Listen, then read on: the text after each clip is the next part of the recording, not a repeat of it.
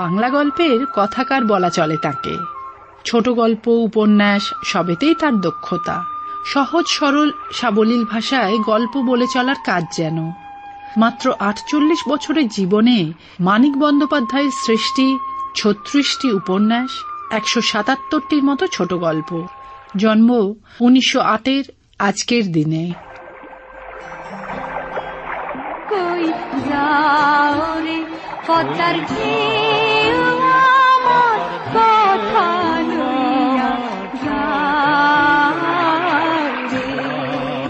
লেখাই ছিল তার নেশা ও পেশা। উনিশশো চৌত্রিশে বেশ কিছু মাস তিনি নবারুণ পত্রিকায় সম্পাদকের দায়িত্ব পালন করেন।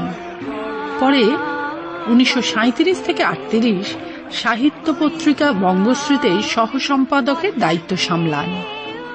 উনিশশো নিজের একটি মুদ্রণ ও প্রকাশনা সংস্থা গড়ে তোলেন মানিক বন্দ্যোপাধ্যায়। তবে তার স্থায়িত্ব বেশি দিনের ছিল না। তার বহু গল্প ও উপন্যাস নিয়ে বিভিন্ন সময় সিনেমা নাটক হয়েছে। উল্লেখযোগ্য সৃষ্টির মধ্যে রয়েছে পদ্মা নদীর মাঝি পুতুল নাচের ইতিকথা শহরতলি চতুষ্কোণ অতসীমামি প্রভৃতি। যে গল্পগুলি নিয়ে ছবি হয়েছে তার মধ্যে অন্যতম গৌতম ঘোষ পরিচালিত পদ্মা নদীর মাঝি। কত? আট মন ছত্রিশ। সালাম মিয়া ভাই। আরে কুবির ভাই যে কোন সব আসো তো কও কুবির ভাই। মায়া কেমন আছে? আইজ আনতে হয়। ডাক ধরে কইছে একখান নাও লাগে মিয়া ভাই। ছোট লাউ খান লইয়ে যাও ইটার এমন কি কথা? শুনি আজান খুলে নাকি নাও খান কেরাই দিছে? আজান ঘোড়া কুবির ধরে ঘা দিছে। আমারে কই কেরাই মাঝি হইতি। আমিও কয়া দিছি। কুবির ধরে বাদ দিলে আমি আজান ঘোড়ার লগে আর থাকুম না।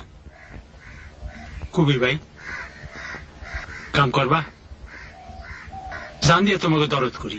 তার লেখার মধ্যে যেগুলি অনন্য সাধারণ বলে বিদগ্ধ মহলে স্বীকৃতি পেয়েছে তার মধ্যে অন্যতম পুতুল নাচের ইতিকথা এক কারি টাকা নিয়ে জোয়ান মেয়েটারে আমারে গছিয়ে দিয়েছিস। আর এখন উপকারের শোধ নিস তাই না? আমি সব বুঝি। কোথায় গেছিলে? কায়েত বাড়ি কাসুন্দি আনতে। কাসন্দি আনতে গেছিলে না? ভেবেছ যা বলবে তাই বিশ্বাস করব। পাঠক দর্শক মহলে বেশ সাড়া ফেলেছিল দিবারাত্রির কাব্য। কাকে ধরে আনলে গো? অতিথি নাকি? কলকাতায় তোমাদের বাড়ির পাশে থাকতো হেরম্ব চিনতে পারো? চিনেছি গো। তো ওকে ধরে আনার কি দরকার ছিল? যখন এনেছো তখন কি আর হবে? বসো বাবা বসো। আহাই সিঁড়িতে বসো না গো। মন্দিরের সিঁড়ি পবিত্র। তুমি আবার কোথায় চললে গো? যা আনতে বলেছিলাম তা এনেছো? না। দেখলে লোকটা কাণ্ড? তোমাকে ডেকে নিয়ে এসে ভেতরে চলে গেল। জ্বালিয়ে মারলে আমার জ্বালিয়ে মারলে।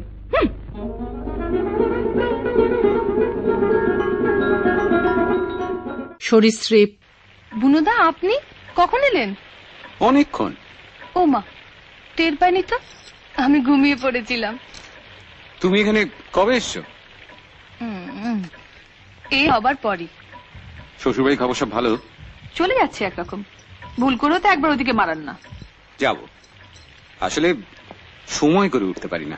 বিশেষজ্ঞদের মতে মানিক বন্দ্যোপাধ্যায়ের লেখায় মার্ক্সবাদ এবং ফ্রয়েডীয় দর্শন প্রভাব ফেলেছিল। তার রচনায় শহর ও গ্রাম বাংলার সাধারণ জীবনযাত্রার ছবি ফুটে ওঠে। গল্প বলার ধরনটি সহজ ধারায় বয় চলতি ভাষায় গল্প বলে যাওয়া। আমি সারসি বাড়ি সারসি স্বামী আরে পুরুষ আরে পুরুষ আমায় দেখা কও না তোমার ডর বাকি দেও না মাঝে না ভাসাইয়া আমায় তোমার সঙ্গে লইয়া এই নদীতে এমন রাইতে একই লগে মর বাকি